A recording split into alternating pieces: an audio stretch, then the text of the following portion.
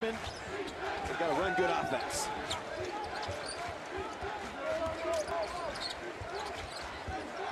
Talib Zana has really improved his efficiency as of late. Porter is a great shot blocker, does just about everything well, comes away with it.